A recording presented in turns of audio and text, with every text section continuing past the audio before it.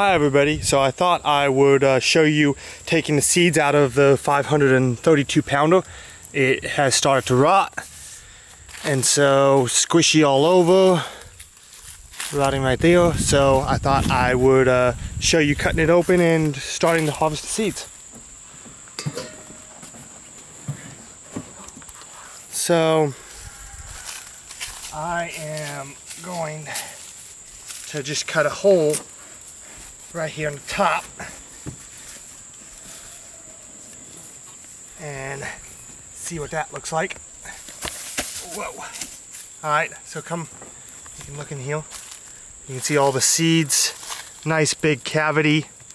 Um, I'm not gonna uh, make this video any longer because you don't want to see me just here taking seeds out of it. So, um, thanks for watching. Make sure and subscribe.